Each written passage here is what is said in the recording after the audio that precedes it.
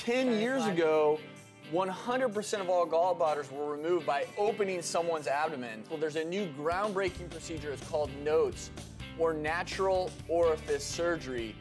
Really intriguing stuff here. It's early, early in the morning, and I'm here for my notes procedure to get my gallbladder removed. We're gonna go in uh, and we're gonna put the patient to sleep. We're gonna get inside the abdomen through the vagina.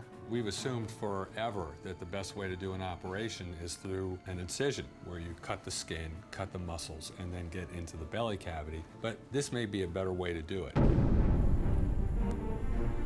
We are going to use three devices that are key to the outcome of this operation, and one is a high definition endoscope, then is a long instrument, and that allows us to reach the gallbladder from the vagina. What we are doing now is uh, mobilizing the gallbladder, and, and we are working from the abdomen, and we are also working a little bit from the belly bottom. Perfect. Good. Okay. So we are placing the gallbladder inside the trocar. So the gallbladder is removed now. You see that there? It was a good operation. We did it within an hour, as we promised, uh, and uh, we are very happy.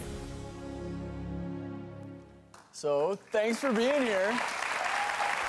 Now, I can tell you that Lisa and I, first and foremost, we're so intrigued by the surgery, but before we even get to that, you and, and the experiences that you went through for years and years suffering from gallbladder disease, tell us the symptoms you were having.